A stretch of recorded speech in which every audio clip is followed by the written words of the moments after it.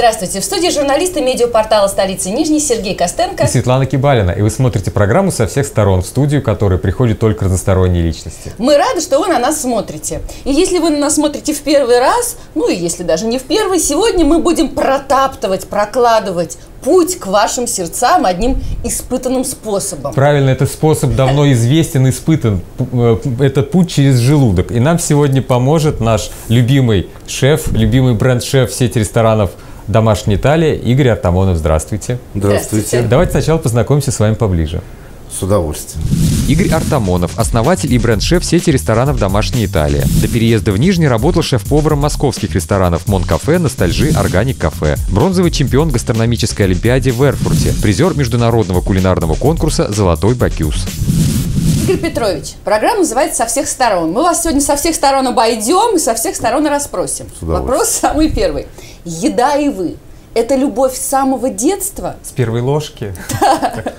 А, да нет, это осознанное было решение, которое, в принципе, было четко определено еще в совсем молодом возрасте и с него практически не сходил при любых обстоятельствах, потому что времена были своеобразные, там Советский Союз, распад и так далее, но четко была линия мной выбрана, и в ней я шел до конца, до того уровня, который сейчас имею. А почему? То а есть почему, да? Вы в детстве почему? Любили вы... готовить. Вы знаете, банально, банально наверное, ну, э, так, наверное, напутствовала мама в свое время. И когда были какие-то искушения, потому что и в юридическом институте учился, и были разные направления, но все равно э, судьбу возвращала меня в гастрономию. А мама вас напутствовала, она сама была повар? Или? Нет, она с точки зрения практичного, а. э, чтобы чтобы дома бы... холодильник был полон. Да нет, наверное, чтобы а, была всегда работа и а, было увлечение, потому что она в свое время а, много была на, в западных странах и видела, что культура еды совершенно другая, и специалисты в этой области имеют национальное как бы достояние. Она говорила, иди в этой области и развивайся. А почему тогда именно Италия? Потому что на, на Западе много прекрасных кухонь, а вам полюбилась именно итальянская. Я не могу сказать, что мне полюбилась вообще какая-то кухня. Я отношусь к гастрономии, вообще к направлениям очень э, спокойно ко всем, потому что где-то есть свои плюсы, есть свои нюансы, минусы. А сам по себе я могу сказать, что я больше специализируюсь во французской кухне mm-hmm. и более профессиональнее в ней разбираюсь. Почему? Потому что все-таки французская кухня является родоначальником всех кухонь. А итальянская кухня, она простая, понятная. Понятно. Я хотел сделать еду доступную для людей, а, чтобы ее могли повседневно кушать и простую в гастрономическом отношении. Вкусную. Вкусную. А вы знаете вопрос какой? Итальянская кухня, насколько я понимаю, у нее главное ее достоинство – это качественные, свежие, хорошие продукты, да? А сейчас ну, как бы все знаем, что где ситуация, берете? где вы их берете, потому У что... вкусно, правда. Вы знаете, я когда изначально делал концепцию домашней Италии, это изначально, еще когда не было такой mm-hmm. ситуации сейчас рыночной, я хотел, чтобы были больше местные продукты, были а, там, например, нижегородская мука, а, там, нижегородские а, масло, молоко, там, сливки и так далее. И я адаптировал эту кухню под а, российского еще в то а. время.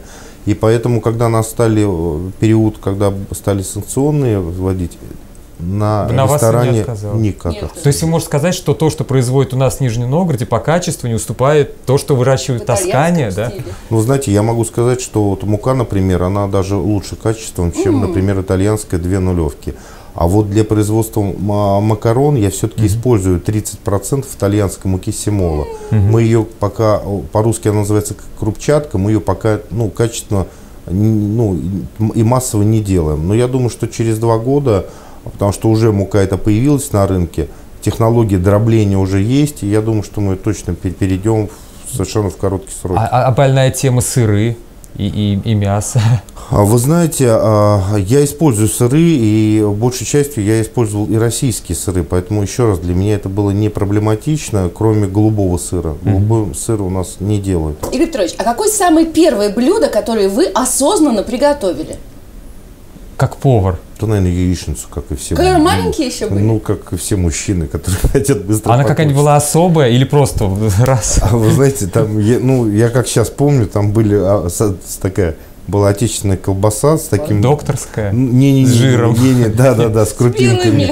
Вот, и а, помидоры были. Ну, Вот. классика. Ну так сразу смотри, И, и получился вкусный. И, ну, э, осознание, наверное, про все-таки правильного отношения было после, наверное, второго года работы уже.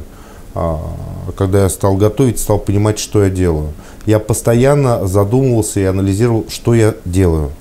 Поэтому и пришел к тому, что что бы я ни делал, а, я буду делать натуральную и качественную и а, полезную еду. Вот мама мне все время говорила, как ты месишь тесто с каким настроением, Да. такой у тебя и будет продукт. Да, это тесто. ведь жива, она как еда, как живая Те- получается. это тесто, да. Тесто, тесто, оно, а, у него есть ранимость, у него есть, а, а, у него есть, не, не- не обидчивость, у них все-таки, у теста есть память, а, у пшеницы. Именно пшеница, она вообще уникальный продукт, сама по себе пшеница.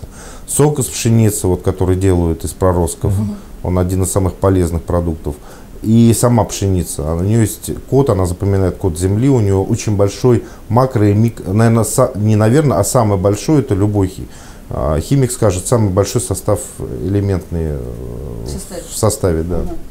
То есть это все на и еда может передать настроение повара, который это готовил. Еда может передать отношение повара. Я бы не стал идеализировать, потому что кулинария это ремесло. Это не, я не могу отнести э, кухню как К искусству, да? Это неправильно. То есть научиться, если человек поставил задачу научиться, он из него получит хороший, крепкий такой повар. Да, но если он хочет что-то сделать особенное, Выше. то тут нужен талант. Вот по Надо- поводу надо учения, идти, да. А, мы решили воспользоваться случаем, задать вопросы, специально пособирали по редакциям, все, что интересует наших девушек, Так. чтобы, чтобы такой блиц-опрос. Итак, на каком масле все-таки лучше жарить? Потому что все говорят, что оно рафинировано, но в последнее время появилась информация, что оно канцерогенно. На каком масле жарить? Любое масло канцерогенное, если оно перегревается. А, лучше всего желательно жарить на а, а, рафинированном масле, потому что а, если масло холодного отжима, там больше а, ферментов, и они больше превращаются в канцерогены, что впоследствии очень сильно влияет на здоровье. Понятно. Как сделать так, чтобы еда не прилипала к ножу, вот когда режешь ее? Ответ простой, здесь надо иметь острый нож. А, острый чем острее. нож. И, и прилип- если еда прилипает, значит острый, просто нож Ну, уже начинает, затупился. да, его раз, Всё. оно и прилипает. А когда ты шинкуешь или Понял, режешь, Понял. А обязательно украшать блюдо и согласно этикету, можно ли есть вот эти украшения из еды? Или их надо оставлять на тарелке? Можно и цветами там украсить, можно разные композиции делать. Но я считаю, что э, то, что лежит в тарелке, в круге, да, в, э, оно должно быть все для тебя. У меня про И, и если я все подъем, все эти украшения, это все прилично. Хлебушком собирают соус, либо остатки. Это Приятно. большой комплимент человеку, который готовил. Это прям, иногда это делают специально умышленно, чтобы Вкусно. показать, Показать, что это как было уникальное блюдо. Я про тарелку. А зачем греют тарелки под пасту, вот, например? Обязательно а, это специальные технологии, и во всех ресторанах она должна быть. Тарелка должна быть от 60, от 60 до 70 градусов, потому что пока гость будет получать блюдо, оно просто остынет. А подача блюда должно быть не выше и не ниже 60-70 Это градусов. ресторанная практика. Ну и дома чем хорошо? Вы приготовили и сразу положили. Но если вы э, положили на 10 человек, то вы уже дадите не очень горячее блюдо. Поэтому можно предварительно духовку приготовили и в духовочку положить эти 6-7 тарелочек на 50-60 градусов, и как раз будет горячее. Мгм. А что сделать так, чтобы не плакать, нарезая лук? Потому что у нашей девушки, что они пробуют, все плачут Я и мочу плачут. водой. Вот глаза или лук? Что, что Нож. Смочить и лук, и э, нож, только не рукоятку, иначе у вас нож может провернуться, может получить травму, и глаза водой. Как сделать, чтобы зелень, фрукты, овощи дольше не вяли, когда их хранят в холодильнике? Накрывать влажной салфеткой. Не в мешки полиэтиленовые. А, задохнуться, если только недолго. Лучше влажная салфетка, чтобы она была слегка влажной. А я вот э, слышу такой бабушкин совет, что покупаешь овощи, их не надо мыть, то есть нужно в грязном виде хранить, так они дольше сохранятся. Абсолютно верно. Клубнику категорически нельзя мыть, она все, она станет маринованной. А помидоры можно хранить в холодильнике? Потому что говорят, что их, э, они там быстрее портятся. Если вы хотите, чтобы они дальше дозревали, то надо, как и банан, э, в комнатной температуре. А Если хотите приостановить процесс, вас помидор устраивает, то в холодильнике. Сергей, Так. раздевайся. Отлично. Я считаю, очень самые полезные программы за всю историю со всех сторон. Я считаю, что это так. Да. Игорь Петрович, мы приглашаем вас еще к нам не раз, потому что мы только в начале Да, нашего большого гастрономического, гастрономического обучения. Мы поздравляем вас с Днем повара, с Международным Днем повара, который отмечается на этой Спасибо. неделе. И желаем вам приятного аппетита. Спасибо. И нам приятного аппетита в ваших ресторанах. И вообще. Спасибо, вы всегда мои желанные гости. Я очень люблю и вашу компанию, и э, с честью к вам прихожу, и всегда рад и в, в съемках участвовать. Вот, и всегда рад вас видеть как гостей. Thank you.